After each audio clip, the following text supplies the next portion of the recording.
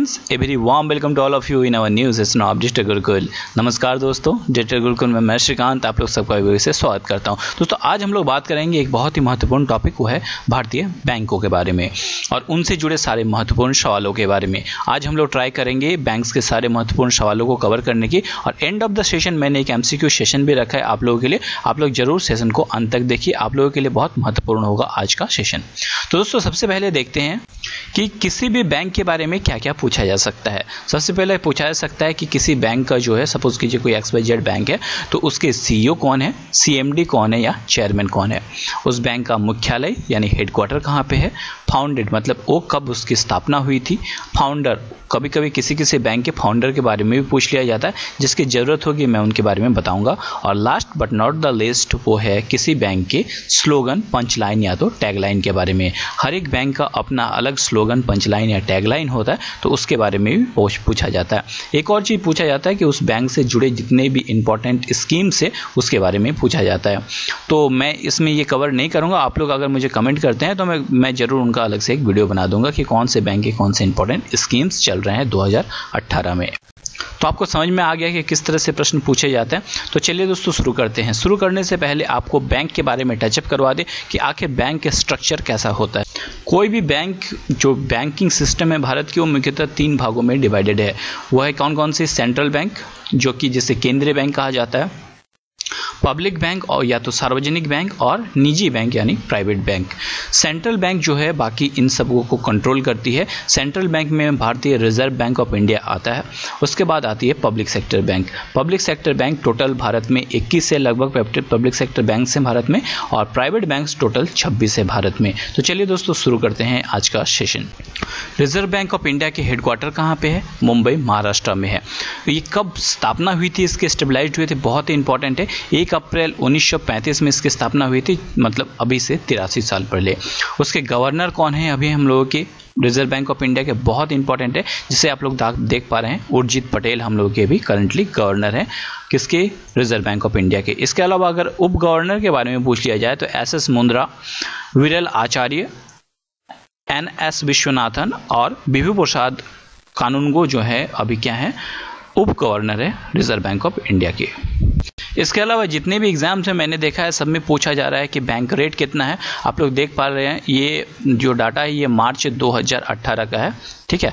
आप लोग देख सकते हैं बैंक रेट कितना सिक्स पॉइंट टू फाइव चल रहा है। रेपो रेट सिक्स परसेंट है। रिज़र्व जो रिवर्स रेपो रेट है five point seven five percent है। सी आर आर कितना है? एस एल आर कितना है? बेस रेट कितना है? ये सारे आप लोग एक बार गो थ्रू कर लीजिए, बहुत ही इंपॉर्टेंट है।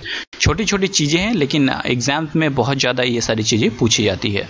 अब हम लोग मूव करते हैं पब्लिक सेक्टर बैंक की ओर। तो पब्लिक सेक्टर बैंक्स में सबसे बड़े बैंक बात करते हैं स्टेट बैंक ऑफ़ इंडिया के। स्टेट बैंक ऑफ़ इंडिया के चेयरमैन कौन है? रजनीश कुमार। हेडक्वार्टर कहाँ है उसका? मुंबई में है। और फाउंडेड कब हुआ था उनका? एक जुलाई उन्नीस यानी नाइनटीन 90 सॉरी दोस्तों 1955 को हुआ था उसका foundation State of Bank of India का पंचलाइन क्या है? The nation's banks on us इसका पंचलाइन है। आगे बढ़ते हैं। नेक्स्ट है इलाहाबाद बैंक। इलाहाबाद बैंक का हेडक्वार्टर कहाँ पे? कोलकाता में है। सीईओ कौन है उसका? उषा अनंत सुब्रमण्यम, उनकी सीईओ है। उनका कार्यकाल है 6 मई 2017 से 13 अगस्त 2017 तक उनका कार्यकाल है। कब फाउंडेशन हुआ था इलाहाबाद बैंक का? अगर पूछा जाए तो 24 अप्रैल अट्ठारह में हुआ था। उसका ट्रेगलाइन टेडलाइन क्या है? टैगलाइन है उसका ट्रेडिशन ऑफ़ ट्रस्ट याद रखिए ट्रेडिशन ऑफ़ ट्रस्ट टैगलाइन है इलाहाबाद बैंक का। अगला जो बैंक है वो है आंध्रा बैंक आंध्रा बैंक के चेयरमैन या तो मैनेजिंग डायरेक्टर एक ही हैं. चेयरमैन और मैनेजिंग डायरेक्टर कौन है? सी वी आर राजेंद्रन जो है, जैसे आप लोग देख पा रहे हैं चेयरमैन एंड मैनेजिंग डायरेक्टर है. फाउंडेशन कब हुई थी? जैसे बताया मैंने फाउंडेड कब हुआ था वो? 20 नवंबर 1923 को फाउंडेशन हुआ था आंध्रा बैंक की स्थापना हुई थी। अभी से चौरानवे साल पहले। उसके फाउंडर कौन है? जैसे मैंने बताया कि कुछ कुछ में फाउंडर भी इंपॉर्टेंट है। तो उसके फाउंडर हैं भोगाराभी जो पट्टा भी सीतारामैया, जो आंध्र प्रदेश, जो आंध्रा बैंक के, कौन है? फाउंडर है। बहुत इंपॉर्टेंट है, आप लोग नोट कर लीजिए। हेडक्वार्टर कहाँ है आंध्रा बैंक, अगर पूछा जाए तो? हैदराबाद में है। टैगलाइन ऑफ़ आंध्रा बैंक है where India banks tagline of Andhra Bank where India banks next है Bank of Baroda Bank of Baroda का हेडक्वार्टर कहाँ पे है? गुजरात में है, बड़ोदरा में। ठीक है? उसके चेयरपर्सन कौन है अभी? रवि रवि जो बैंकेटेशन है।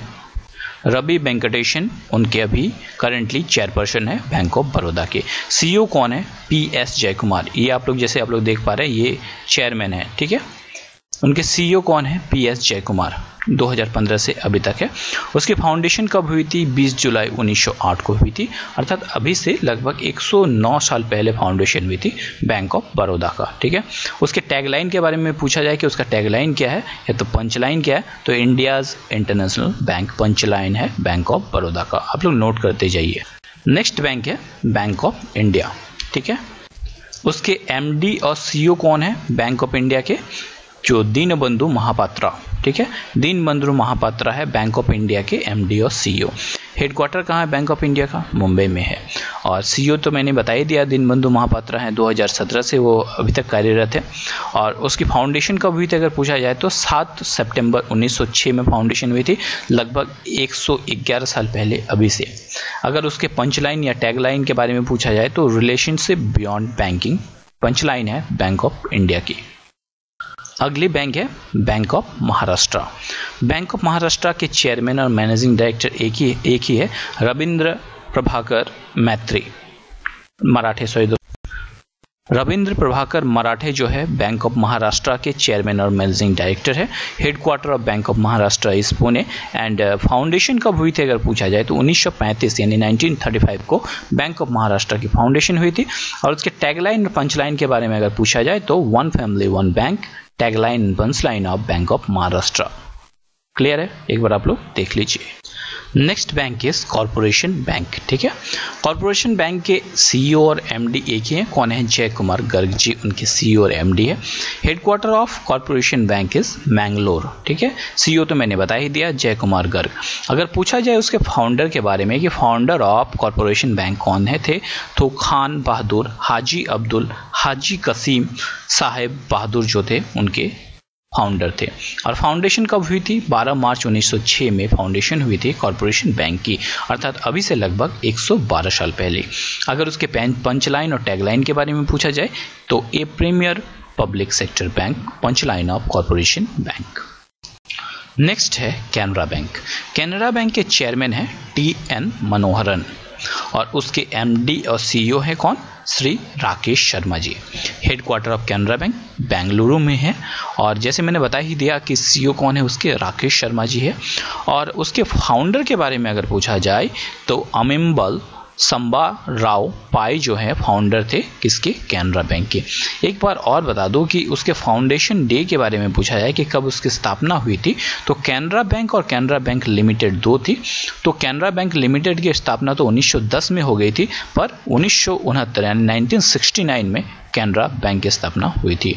अगर उसके पंच लाइन या टैग लाइन के बारे में पूछा जाए तो together we can is the punch line और tag line of Canara Bank next is Central Bank of India Central Bank of India के चेयरमैन और मैनेजिंग डायरेक्टर कौन है?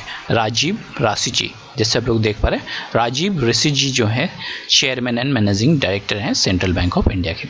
हेडक्वार्टर कहाँ है? मुंबई में है। और उसकी फाउंडेशन कब हुई थी? 21 दिसंबर 1911 को फाउंडेशन हुई थी। उसके फाउंडर के बारे में अगर पूछा जाए तो सोराब जी मेहता जो है, उनकी फाउंडर थे, जिन्होंने 21 दिसंबर 1911 को फाउंडेशन की थी सेंट्रल बैंक ऑफ़ इंडिया की। अगर उसके पंचलाइन या टैगलाइन के बारे में पूछा जाए तो सेंट्रल टू यू सिंस 1911 जैसे आप लोगों को 1911 में फाउंडेशन हुई थी तो डेट से ही पता चल रहा है कि 19 सेंट्रल टू यू सिंस 1911 ठीक है? या सेंट्रल बैंक ऑफ़ इंडिया कुछ दोस्तों को ये कन्फ्यूज़न रहता है कि ये जो सेंट्रल बैंक ऑफ़ इंडिया है, वो सेंट्रल बैंक है। अर्थात जैसे मैंने बताया कि मुख्यतः तीन डिवीज़न होते हैं बैंकों के प्राइवेट बैंक सेंट्रल बैंक और पब्लिक बैंक तो कुछ दोस्तों को ये कन्फ्यूज़न रहता है कि ये Central Bank of India central bank है तो ऐसा नहीं है। सेंट्रल बैंक एक ही है, वो है रिज़र्व बैंक ऑफ़ इंडिया बाकी ये सारे बैंक आते हैं आपके पब्लिक सेक्टर बैंकों में, इसके अलावा जो है बाकी प्राइवेट बैंक आते हैं। तीन डिवीज़न ही है। चलिए बैंकिंग बहुत भी अब देना लेना शुरू करें। सॉरी दोस्तों। नेक्स्ट बैंक है वो है देना बैंक ठीक है? देना बैंक के पूछा जाए एग्जीक्यूटिव डायरेक्टर कौन है तो श्री रमेश एस सिंह जैसे आप लोग देख पा रहे हैं, वो है एग्जीक्यूटिव डायरेक्टर हेडक्वार्टर कहाँ है देना बैंक का? मुंबई में है। सीईओ तो मैंने बता ही दिया कौन है। श्री अश्विनी कुमार जी उनके सीईओ हैं, जो 2013 से अभी तक कार्यरत है। इसके अलावा उनके फाउंडर जो थे दो ब्रदर थे, एक ही फैमिली के। कौन थे? कुन्नी लाल देवकरण नंजी और प्राणलाल देवकरण नंजी, इन्होंने मिलकर जो है देना बैंक का फाउंडेशन किया था। कब? फाउंडेशन किया था दोस्तों, देना बैंक का। तो ये आप लोगों के लिए एक टास्क है। आपको बताना है कि देना बैंक का फाउंडेशन कब हुआ था। ठीक है? कमेंट बॉक्स में आप लोग कमेंट कीजिए। देना बैंक के बाद बारी आती है आईडीबीआई बैंक की, यानी Industrial Development Bank of India जो है आईडीबीआई बैंक उसके मैनेजिंग डायरेक्टर कौन है? महेश कुमार जैन जो है मैनेजिंग डायरेक्टर है। हेडक्वार्टर मुंबई में है और सीईओ कौन है? वही महेश कुमार जैन ही सीईओ है, जो 20 मार्च 2017 से अभी तक कार्यरत है। उसकी फाउंडेशन कब हुई थी दोस्तों? किसकी? आईडीबीआई की। उन्नीस में फाउंडेशन हुई थी और उसका टैगलाइन या पंचलाइन क्या है? बैंकिंग फॉर ऑल टीवी में तो आप लोगों ने देखा होगा, बहुत सुंदर ऐड आता है, हाथी वाला ऐड जो आता है, आप लोगों को याद होगा आईडीबीआई बैंक की क्या पंच लाइन है बैंकिंग फॉर ऑल अगला जो बैंक है, वो है इंडियन बैंक इंडियन बैंक के जो सीईओ हैं, वो हैं किशोर कुमार करात, जो कि M D N C O हैं इंडियन बैंक के। इसके अलावा M K Bhattacharya and A S Rajiv जो है, वो एग्जीक्यूटिव डायरेक्टर हैं। हेडक्वार्टर कहाँ है? चेन्नई में है इंडियन बैंक का। जैसे मैंने बता ही दिया, किशोर कराज जो है 18 मार्च 2017 से कार्यरत हैं इंडियन बैंक में as a M D N C और फाउंडेशन कब हुई थी उसकी? अगस्त 15 अगस्त 1907 को फाउंडेशन हुई थी, लगभग अभी से 110 साल पहले। और उसकी टैगलाइन या तो पंचलाइन क्या है? योर टेक फ्रेंडली बैंक ठीक है? आपका टेक्निकल फ्रेंडली बैंक मतलब your tech friendly bank is Indian bank अगला बैंक है, भारी भरकम बैंक नहीं दोस्तों, इसके अलग अलग पोस्ट हैं, इसलिए मैंने ऐसा थोड़ा सा कंजेस्टेड लग रहा है। इंडियन ओवरसीज़ बैंक ठीक है? इंडियन ओवरसीज़ बैंक के नॉन एग्जीक्यूटिव जो डायरेक्ट चेयरमैन है, वो सब आप लोग एक बार देख लीजिएगा। बाकी मुख्यतः जो पूछा जाता है, वो एमडी और सीईओ के बारे में पूछा जाता है। तो एम डी एंड सी कौन है उसके? श्री आर सुब्रमण्य कुमार जो है एम डी सी जैसे आप लोग देख पा रहे हैं, यही है आर सुब्रमण्य कुमार, ठीक है? उसके हेडक्वार्टर चेन्नई में है। आर सुब्रमण्य कुमार उनके सीईओ है। फाउंडेशन किसने की थी? M C T M Chidambaram Chettiar ने उन्होंने फाउंडेशन की थी। कब की थी? 10 फरवरी उन्नीस सौ सैंतीस में, यानी अभी से इक्यासी साल पहले। अगर पूछा जाए उसके पंच लाइन और टैगलाइन के बारे में तो Chennai good people to growth with ठीक है? इसका पंच लाइन या टैगलाइन है। अगले बैंक बहुत चर्चे में है। नीरव मोदी के घोटाले के बाद बैंकिंग जो बहुत बड़ा घोटाला हुआ, उसके बाद से वो है पीएनबी यानी Punjab national bank. Punjab national bank के एमडी और सीईओ कौन है? सुनील मेहता जी हैं, जो कि 6 मई 2017 से कार्यरत हैं। इस पद पे headquarter of Punjab national bank is in new Delhi और अगर पूछा जाए कि फाउंडर कौन है किसके? पंजाब नेशनल बैंक के तो लाला लजपत राय और दयाल सिंह मजीठिया ने इनका फाउंडेशन किया था। कब किया था? मई उन्नीस सौ चौरासी में। सॉरी दोस्तों, उन्नीस सौ चौरानवे में किया था, नाइनटीन, एटीन अठारह में किया था। 19 में अठारह यानी 1894 में इसका फाउंडेशन किया था। अगर इसके टैगलाइन या पंचलाइन के बारे में पूछा जाए तो the bank you can bank upon इसका टैगलाइन या पंचलाइन है। बैंक ऑफ़ किसकी? पंजाब, यानी पंजाब नेशनल बैंक की। अगला है पंजाब एंड सिंध बैंक। ठीक है? पंजाब का नाम हो और पंजाबी ना हो तो मज़ा क्या है? सॉरी हम्म, ठीक है? तो एमडी और सीईओ e कौन है? किसके? पंजाब एंड सिंध बैंक की। तो जितेंद्र बीर सिंह जैसे आप लोग देख पा रहे हैं इसके एमडी और सीईओ हैं। और ईडी e कौन है इसके? फरीद अहमद जी इनकी ईडी है। और हेडक्वार्टर कहाँ पे है? पंजाब एंड सिंध बैंक का तो दिल्ली में है। उनका फाउंडर किसने किया था? दुबीर सिंह जी ने किया था 24 जून 1908 यानी 1908 में। अगर पूछा जाए उसके पंच लाइन या तो टैगलाइन के बारे में तो पंजाब एंड सिंध बैंक का पंच लाइन या तो टैगलाइन है way service is way of life way service is way of life is the punch line and tagline of Punjab and Sindh bank. अगला है सिंडिकेट बैंक सिंडिकेट बैंक के CEO कौन है या तो चेयरमैन कौन है? चेयरमैन है उनके अजय, बिपिन नवाती जी बाकी सीईओ आप लोग देख लीजिएगा एग्जीक्यूटिव डायरेक्टर देख लीजिएगा, ठीक है? और इसका हेडक्वार्टर कहाँ है? मणिपाल में है। और सीईओ तो जैसे मैंने बताया था, रेगो जी, उनके सीईओ हैं। फाउंडेशन कब हुई थी? 1905 में, उडुपी में इसकी फाउंडेशन हुई थी। और टी एम ए पाई ने इनका फाउंडेशन किया था। दोस्तों, मुझे पता है आपका सर घूम रहा होगा कि सर ये कितनी बोरिंग चीज़ है, कैसे याद होगा सर ये चीज़ें। पर जॉब चाहिए तो थोड़ी सी मेहनत करनी पड़ेगी दोस्तों, क्या कीजिएगा। थोड़ा सा कष्ट कीजिए, थोड़ा मेहनत कीजिए बार बार रिवाइज कीजिए। करना क्या है, आपको डेली थोड़ा थोड़ा इनको रिवाइज करते रहना है, आपको तुरंत याद हो जाएगा, कोई बड़ी चीज़ नहीं है। बस आपको डेली रिवाइज करना है। एक दिन में होने वाली चीज़ नहीं है रेगुलर रिवाइज कीजिए, क्योंकि इनसे प्रश्न हमेशा आते हैं, इसीलिए मैं बता रहा हूँ, वरना कोई ज़रूरी नहीं था। और उसके पंचलाइन और टैगलाइन के बारे में पूछा जाए कि सिंडिकेट बैंक के पंचलाइन या टैगलाइन क्या है तो your faithful and friendly financial partner next one is oriental bank of commerce तो अगर पूछा जाए कि ओरिएंटल बैंक ऑफ़ कॉमर्स के सीईओ और एमडी कौन है तो श्री मुकेश कुमार जैन जी, उनके सी सीईओ एंड एमडी है। हेडक्वार्टर उनका गुरुग्राम में है। जैसे मैंने बता ही दिया, मुकेश कुमार जैन उनके सीईओ और एमडी है, जो कि 15 जुलाई 2017 से कार्यरत है। अगर उनके फाउंडेशन के बारे में पूछा जाए कि कब फाउंडेशन हुआ था तो 19 फरवरी उन्नीस सौ यानी नाइनटीन फोर्टी थ्री को इसका फाउंडेशन हुआ था। उसके पंच लाइन और टैग लाइन के बारे में पूछा जाए तो where every individual is committed उसका पंच लाइन और टैग लाइन है किसका? ओरिएंटल बैंक ऑफ़ कॉमर्स का।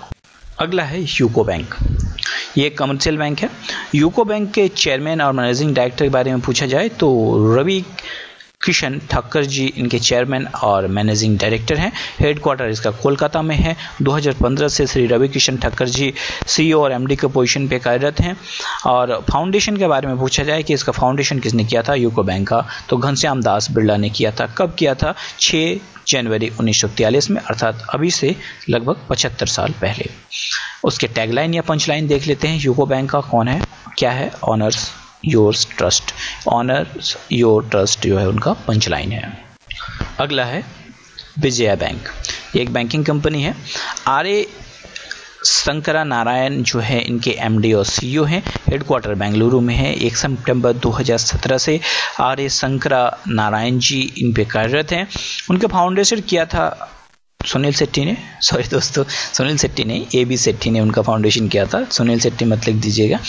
Foundation of Vijaya bank is founder of Vijaya bank is A B Shetty कब किया था? 1931 में, ठीक है? अभी से सतासी साल पहले अगर उनके पंचलाइन या तो टैगलाइन के बारे में पूछा जाए तो friend you can bank on जो है उनका टैगलाइन है। A friend you can bank on अगला बैंक है यूनाइटेड बैंक ऑफ़ इंडिया एक फाइनेंशियल सर्विस कंपनी है। उनका पवन कुमार बजाज, पवन कुमार बजाज जी उनके एमडी और सीईओ हैं। इसके अलावा ईडी के बारे में आप लोग देख लीजिए चीफ मैनेजिंग डायरेक्टर भी देख लीजिए। हेडक्वार्टर जो है यूनाइटेड बैंक ऑफ़ इंडिया का कहाँ पे है? कोलकाता में है। पवन राज, पवन कुमार बजाज जी जो है 2016 से इस पद पे कार्यरत हैं। इनका फाउंडेशन कब हुआ था? यूनाइटेड बैंक ऑफ़ इंडिया की अगर पूछा जाए तो 1950 में हुआ था मतलब अभी से लगभग अड़सठ साल पहले। उनके फाउंडर कौन थे? किन्होंने संस्थापना की थी? किसकी? यूनाइटेड बैंक ऑफ़ इंडिया की। तो नरेंद्र चंद्र दत्त जो कि कोलकाता के ही थे, उन्होंने ही फाउंडेशन की थी यूनाइटेड बैंक ऑफ़ इंडिया की। इसके अलावा अगर उसके पंच लाइन या तो टैगलाइन के बारे में पूछा जाए, the bank that begins with you उसका पंच लाइन है। ठीक है? क्लियर है दोस्तों? अगला बैंक है, वो है union bank of India union bank of India के मैनेजिंग डायरेक्टर और सीईओ कौन है? श्री राज किरण राय जी, उनके मैनेजिंग डायरेक्टर और सीईओ हैं। हेडक्वार्टर कहाँ है? मुंबई में है। और राज किरण जी ने कब शपथ ग्रहण किया था? एक जुलाई 2017 में किया था। उनकी फाउंडेशन कब हुई थी? किस बैंक की? यूनियन बैंक ऑफ़ इंडिया की। 11 नवंबर 1919 में इसकी फाउंडेशन हुई थी मतलब लगभग अभी से अंठानवे साल पहले। तो अगर उसके पंच लाइन या टैगलाइन के बारे में पूछ लिया जाए कि यूनियन बैंक ऑफ़ इंडिया का पंच लाइन या टैगलाइन क्या है तो good people to bank with इसका टैगलाइन है। दोस्तों, थोड़ा मुश्किल है, पर नामुमकिन नहीं है। अगर आप लोग 10 घंटे करके छः महीने भी प्रैक्टिस कर लेते हैं, ठीक है तो मैं ये विश्वास के साथ कह सकता हूँ कि आप कोई भी एग्ज़ाम क्लियर कर सकते हैं। 10 घंटे छः महीने, बस। उसके बाद ज़िंदगी सेटल ठीक है? बस थोड़ा सा कष्ट कीजिए, और अगर आई मैं बता सकता हूँ कि 10 घंटे करके अगर 10 मंथ आप कर लेते हैं तो आप आई तक क्लियर कर सकते हैं, ठीक है? इंडिया का जो टफेस्ट एग्ज़ाम माना जाता है आई वो भी आप आसानी से क्लियर कर सकते हैं। छः महीने कोई भी एग्ज़ाम दस महीने आई एग्ज़ाम क्लियर है आपका। तो थोड़ा सा मेहनत किया, और एक बात आप लोग देखिएगा रियलाइज़ कीजिएगा कि अगर आप लोग मेहनत करते हैं अच्छे से, दिल से, बिना चीटिंग के तो उसके बाद जो सफलता मिलेगी तो मतलब सीना चौड़ा हो जाता है दोस्तों। मैं अपने पर्सनल एक्सपीरियंस से बता रहा हूँ अगला है एक्सिस बैंक एक्सिस बैंक एक प्राइवेट बैंकिंग कंपनी है। इसके एमडी और सीईओ के बारे में पूछा जाए तो एमडी और सीईओ कौन है? एक्सिस बैंक के। तो शिखा शर्मा जी हैं। उनके चेयरमैन कौन है? तो संजीव मिश्रा है। ये शिखा शर्मा है, आप लोग देख पा रहे हैं। ये एमडी और सीईओ हैं, किसकी? एक्सिस बैंक की। उसकी फाउंडेशन कब हुई थी? उन्नीस सौ तिरानवे में हुई थी एज ए यू बैंक उस वक्त उसे यूटीआई बैंक के नाम से जाना जाता था। बाद में चेंज होकर एक्सिस बैंक हो गया। हेडक्वार्टर ऑफ़ एक्सिस बैंक पूछा जाए तो मुंबई, महाराष्ट्र में उसका हेडक्वार्टर है। और अगर उसके पंचलाइन के बारे में पूछा जाए तो पंचलाइन है बढ़ती का नाम ज़िंदगी। यह तो याद ही होगा। बहुत ज़्यादा याद आता है इसका। बढ़ती का नाम ज़िंदगी is Axis bank next is H bank Adityapuri जी, इनका एमडी हैं। किनके? H D F C bank के आदित्यपुरी, जो उन्नीस सौ चौरानवे से इस पद पे कार्यरत हैं। हेडक्वार्टर इसका मुंबई में है। फाउंडेशन हुआ था उन्नीस सौ चौरानवे में और टैगलाइन है we understand your world is the tag line of H D F C bank आप क्या कीजिए दोस्तों कि इस तरह से वन टू करके, ठीक है वन टू करके सारे बैंकों के नाम एक साइड में लिखते जाइए, ठीक है।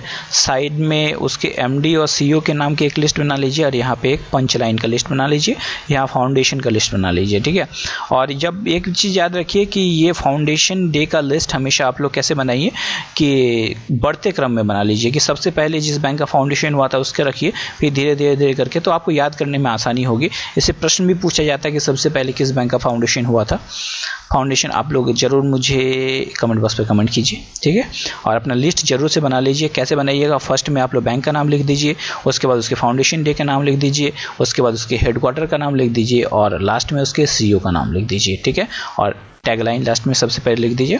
तो ये पाँच चीज़ें आप लोग कंप्लीट कर लीजिए और याद कर लीजिए। दो तीन बार, पाँच बार, दस बार देखते जाइए डेली आराम से याद हो जाएगा। और एग्ज़ाम में इनसे प्रश्न आने ही आने हैं, आप लोग विश्वास रखिए। अगला है आईसीआईसीआई बैंक। आईसीआईसीआई बैंक के चेयरमैन है, मिस्टर एम के शर्मा और एमडी और सीईओ इसी के बारे में ज़्यादा पूछा जाता है। आईसीआईसीआई बैंक के एमडी और सीईओ कौन है? बहुत पॉपुलर है ये, चंद्रा कोचर जी। चंदा कोचर जी, एक मई उन 2009 से ये कार्यरत है। Headquarter of ICICI bank is in Mumbai और उसके फाउंडेशन कब हुई थी? उन्नीस सौ चौरानवे में फाउंडेशन हुई थी आई बैंक की। और अगर उसके पंचलाइन के बारे में पूछा जाए तो हम हैं ख्याल आपका। अगला है करूर वैश्य बैंक। करूर वैश्य बैंक के चेयरमैन है बी स्वामीनाथन जी, जैसे आप लोग देख पा रहे हैं। उसकी फाउंडेशन हुई थी करूर वैश्य बैंक की 1916 में, जो कि हेडक्वार्टर कहाँ है? करूर में ही है, जिसके नाम से ये बैंक का पड़ा है। करूर वैश्य बैंक, करूर कहाँ पे है दोस्तों? तमिलनाडु में है। अगर उसके पंचलाइन के बारे में पूछा जाए तो smart way to bank is the punchline of Karur Vysya bank. Next is Kotak Mahindra bank. Kotak Mahindra bank के चेयरमैन कौन है? तो संजय आचार्य जी हैं। वो ज़्यादा नहीं पूछा जाता है, ज़्यादा पूछा जाता है इनके वाइस चेयरमैन और एमडी के बारे में।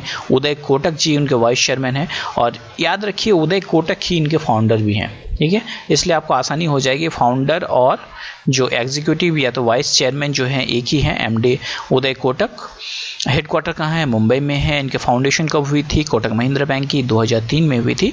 और अगर उसके पंच लाइन टैग लाइन के बारे में पूछा जाए तो let's make money simple is the tag line of Kotak Mahindra bank.